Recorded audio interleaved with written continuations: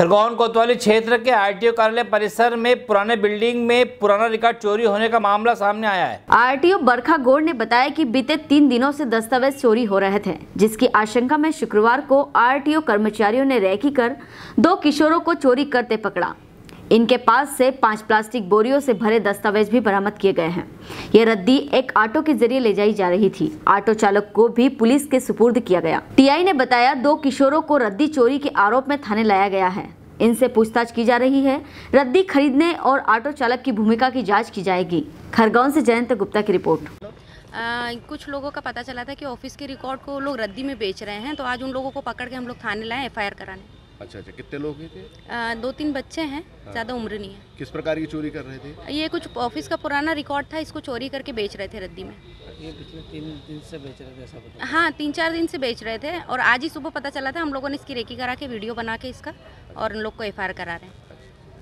ठीक है क्या नाम लिखते हैं madam Barkha Gaur RT office Chanawad road पर गार्ड ने एक सूचना दी थी कि उनके यहाँ पर एक जो आरटी ऑफ़िस के अंदर पीछे के जो दरवाज़ा तोड़कर और कुछ लड़के ने कंटिन्यू तीन दिन से चुराने, सूचना पर से पुलिस और गार्ड ने वहाँ से दो नाबालिग लड़कों को दस्तावेज़ चुराते हुए पकड़ा था, जिनको थाने लेके आए गए। उनसे पूछताछ की, पूछताछ पर उनके द्वारा एक कबाड़ी को बेचना और कंटिन्यू तीन दिन से जो शासकीय दस्तावेज़ है उनको चुराना पाया गया, जिस पर से थाना कोतवाली पर अपराध पंजीबद्ध किया गया है।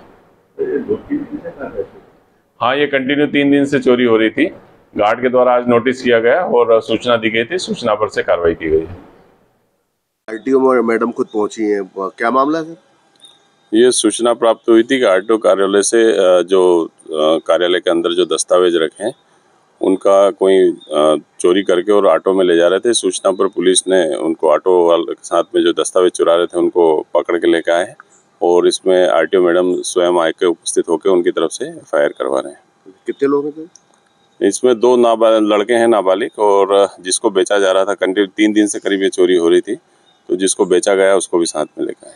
ऑटो वाला भी है ऑटो वाला की अभी उसकी तस्दीक की जा रही है।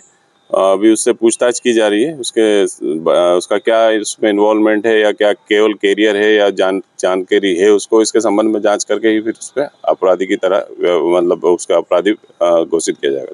तो जिसका ये बेच रहे थे दो दिन से उसके यहाँ से माल जब्त हुआ क्या?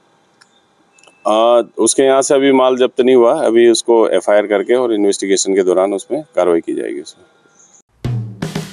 हेलो फ्रेंड्स आप देख रहे हैं हमारा channel S W twenty four news हमारे सारे वीडियो सबसे पहले देखने के लिए आप हमारे चैनल को सब्सक्राइब करें और पास में लगे बेल आइकोन को दबाना बिल्कुल भी ना भूलें।